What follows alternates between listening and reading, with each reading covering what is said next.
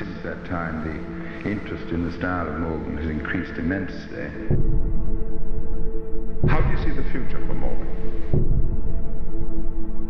I think one has to change. Would it be building a specialized car?